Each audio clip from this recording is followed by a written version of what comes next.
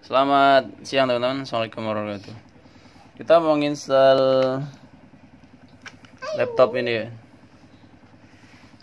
Asus Netbook Asus ini 12 in. Kita nyalakan dulu. Terus kita tekan F2 F2 ini buat masuk BIOS ya. Oke tampilannya kayak gini teman-teman. Langsung aja ke boot. Kemudian di harddisknya di enter kita ubah. Yang pertama ini flash disk ya sama-sama Toshiba. Ini hard disknya merek Toshiba. Flash disknya merek Toshiba. Tapi di sini ada pilihan trans memory ya teman-teman ya. Oke di escape. Jadi yang pilihan paling atas ini kita enter. Kita rubah ke trans memory ini ya. Nah kalau sudah tinggal kita save dan exit. Intinya kita mau nginstal Windows 8 teman-teman ya. Karena laptop ini tanggung.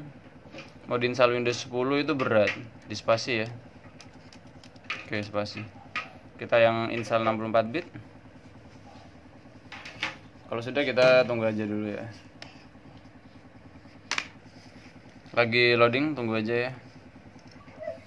Ini loadingnya agak lama. Semoga aja harddisknya nggak kena ya.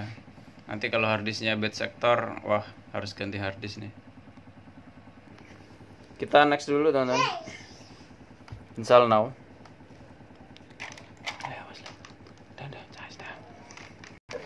Loading